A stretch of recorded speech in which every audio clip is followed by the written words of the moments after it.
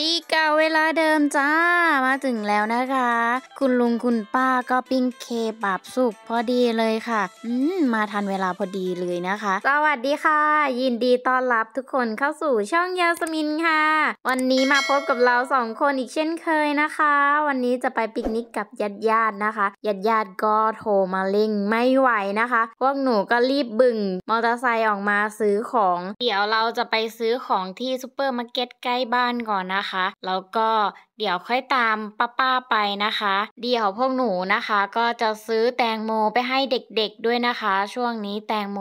ที่ตุรกีออกเยอะนะคะ แล้วก็ลูกใหญ่ม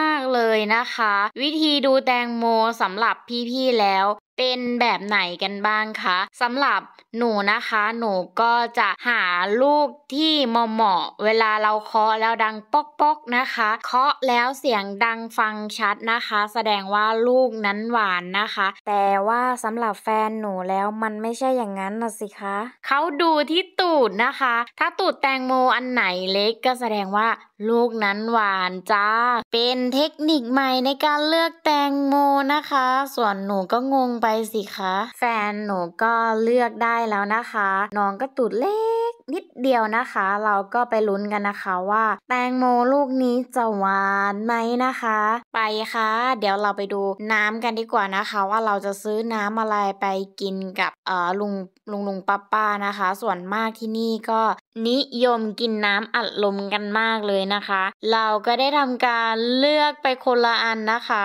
แล้วก็ไปคิดตังค์นะคะ ระหว่างที่รอคิดตังค์นะคะ หนูก็ไปเห็นเจลลี่นะคะ ของโปรดหนูเลยนะคะ อันนี้อยู่ที่ไทยเนี่ยไม่เคยซื้อเจลลี่กินเลยนะคะ แต่พอมาอยู่ตุรกี เอาเป็นว่าเข้าซูเปอร์มาร์เก็ตทีไรนะคะ ก็ต้องซื้อกลับบ้านทุกทีเลยนะคะ ซื้อของเสร็จแล้วนะคะเราก็จะรีบเบิ้ลรถไปหาญาติญาติๆเลยนะคะ รีบเดินสู้กับรองเท้า แต่ว่ารองเท้าสู้กับลื่นสิคะซื้อรองเท้ามา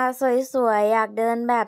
สวยๆแต่ว่ารองเท้าไม่เป็นใจนะคะ เกือบไม่ได้ไปปิกนิกแล้วค่ะ เกือบได้ไปโรงพยาบาลแทนค่ะ ออกเดินทางได้ค่ะ ระหว่างที่เราเดินทางนะคะ หนูก็เอาเสบียงที่เราซื้อมาจากซูเปอร์มาร์เก็ตนะคะ กินไประหว่างทางนะคะ เรื่องกินไม่ใช่ปัญหาสำหรับพวกเราสองคนนะคะ ไม่ว่าสถานการณ์ไหนเราก็กินได้ค่ะ กินไปป้อนกันไปนะคะ กินกับคนคู่ใจกินอะไรก็อร่อยหวานเจี๊ยบ รีบไปค่ะ คุณป้าคุณลุงโทรตามไม่ไหวแล้วจ้า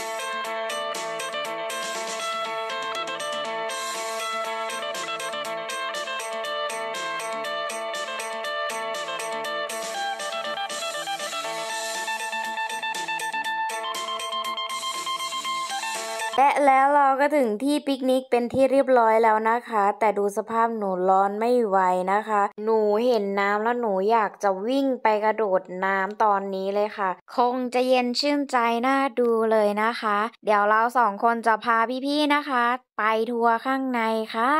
เดี๋ยวก่อนอื่นที่จะพาพี่ๆไปทัวร์นะคะ ช่วยจ่ายตังค์พี่นางกวักก่อนไหมคะ กวักตั้งแต่เดินลงมาจากรถเลยจ้า เราก็โทรกลิ้งไปหาลุงนะคะว่า ช่วยเอาใบเสร็จค่าผ่านทางมาให้หน่อยได้ไหมพอดีพี่เขาไม่ให้เข้าไปนะคะ สรุปแล้วหลานก็มารับเอาใบเสร็จมาโชว์นะคะ พอโชว์ใบเสร็จเสร็จแล้วนะคะ พี่นางกวักก็ปล่อยเราเข้าไปจ้า พอเข้ามาข้างในแล้วนะคะ ที่เห็นซ้ายมือนั้นไม่ใช่บ้องกัญชาแต่อย่างใดนะคะ แต่เป็นที่ทำชาของคนตุรกีนะคะ คนตุรกีนะคะชอบกินชามากเลยนะคะ ไม่ว่าจะเป็นหน้าหนาวหน้าร้อนนะคะคนตุรกีก็กินได้ทุกหน้าทุกเวลาเลยนะคะ เช้าเที่ยงบ่ายเย็น พอเราเข้ามาข้างในแล้วนะคะ จะเห็นควันขโมงโฉงเฉงนะคะ ปิ้งไก่ปิ้งกากันค่ะ ตอนแรกๆนะคะที่เดินเข้ามาค่ะ ไม่คิดว่าอันนี้จะเป็นที่ปิกนิกนะคะ คิดว่าตลาดเช้าบ้านเราเลยฟิลแบบนั้นเลยจ้า ควันขโมงโฉงเฉง ตอนคบกับแฟนแรก ๆนะคะ สิ่งที่แม่ถาม ได้ผัวเมืองนอกเมืองนากลับบ้านไปแล้ว จะช่วยทำนาได้ไหมนะ หนูก็ตอบได้ตรงนี้เลยจ้ะแม่ เรื่องทำนาแม่ไม่ต้องเป็นห่วงนะจ๊ะ เดี๋ยวลูกคนนี้จะทำเองจ้า ขอแค่ให้ผัวไม่ลำบากก็พอจ้ะแม่จ๋าหนูรักเขาจ้ะแม่ ที่เก่าเวลาเดิมจ้า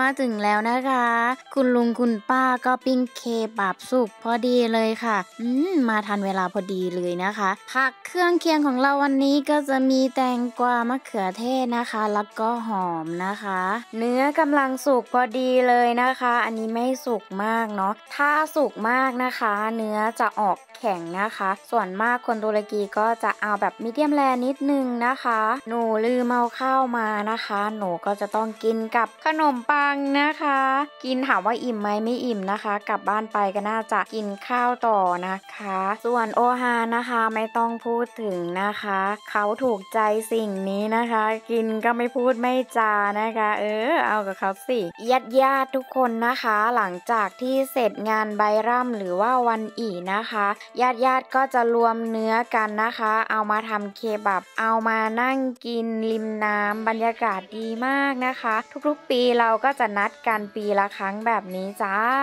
แต่ละคนนะคะช่วยกันค่ะ ช่วยกันหยุ่มคนละไม้คนละมือนะคะ คนที่นี่กินข้าวนะคะ ไม่แตกต่างจากไทยสักเท่าไหร่นะคะ ที่นี่ก็ชอบใช้มือนะคะ คุณลุงคงจะหิวนะคะ รอไม่ไหวแล้วตัดแผ่นลาวัดเลยจ้า แผ่นสีขาวเขาเรียกว่าแผ่นลาวัดนะคะ คือหนูจะบอกว่าแบบนี้คืออร่อยมาก กินข้าวกันเสร็จแล้วนะคะ เติมพลังให้เต็มที่นะคะ แม่แม่ก็จะปล่อยให้เด็ก ๆนะคะ มาเล่นน้ำแบบนี้เลยค่ะ พ่อพ่อแม่แม่นะคะ ก็จะเอาลูกเด็กเล็กแดงนะคะ มาเล่นน้ำกันช่วงหน้าร้อนนะคะ เล่นน้ำกับเด็กๆเสร็จแล้วนะคะ หนูก็จะพาพี่ๆนะคะ มาดูวิถีชีวิตแม่ลูกอ่อนตุรกีนะคะพี่เขาก็จะเอาน้องใส่ผ้านะคะทำเหมือนเปบ้านเราเลยนะคะ คุณแม่แต่ละบ้านนะคะ ก็มีวิธีกล่อมลูกแตกต่างกันไปนะคะ เป็นวิถีชีวิตนะคะของแต่ละบ้านเนาะในการกล่อมลูกให้หลับนะคะ ส่วนบ้านน้องสาวนะคะ จะยืดขาออกมานะคะ แล้วก็เอาหมอนวาง แล้วก็ใช้เท้าแกว่งไปมานะคะ แบบนี้เลย เออ เอาสีสู้กับแดดแต่แดดสู้กับไม่รู้ว่าน้องจะหลับไหมนะ หลังจากกินข้าวเสร็จเป็นที่เรียบร้อยแล้วนะคะ ที่ขาดไม่ได้เลยก็คือชาค่ะ กินข้าวเสร็จต้องกินชาด้วยนะคะ ถ้าไม่ได้กินชานะคะ มันรู้สึกว่ามันไม่สวงนะคะ ต้องกินชาทุกครั้งหลังจากกินข้าวเสร็จนะคะ กินชาเสร็จนะคะ มาต่อด้วยแตงโมหวานๆฉ่ำๆเลยจ้า กินข้าวกินชาเสร็จแล้วนะคะ เราก็จะมาทำหน้าที่ของหลานสะใภ้นะคะ นั่นก็คือล้างจานนั่นเองนะคะ ล้างจานเสร็จแล้วนะคะ เราก็เตรียมตัวจะกลับบ้านกันนะคะ แต่ว่าเผอิญมาเห็น ผลไม้นะคะน่ากินมาก มีทั้งเชอร์รี่ มีทั้งลูกพีช มีทั้งลูกอาบิคอนนะคะ พวกหนูก็เหมาเลยจ้า อย่างละโล สะดุดตากับมะเขือเทศนะคะ มะเขือเทศจะบอกว่าใหญ่มาก ใหญ่เท่ากับหัวเด็กเลยนะคะ ไม่รู้ว่าน้องจะใหญ่ไปไหนนะคะ โอ้โหสะออนแท้ เก็บข้าวเก็บของใส่กระเป๋าเรียบร้อยนะคะ เราก็จะเดินทางกลับบ้านกันต่อนะคะพวกหนูสองคนก็ขอแรงเชียร์แรงใจจากพี่ๆนะคะ ฝากกดไลค์ กดแชร์ กด Subscribe แล้วก็อย่าลืมกดกระดิ่งให้พวกเราด้วยนะคะ ไปแล้วค่ะ สวัสดีค่ะ